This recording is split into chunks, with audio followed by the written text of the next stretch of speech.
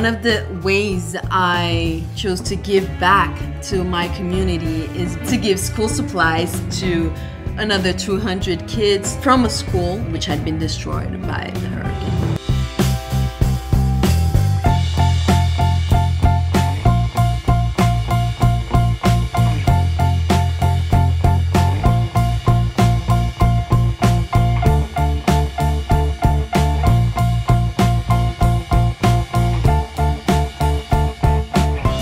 Que más me apasiona en la vida es ese compartir con los niños.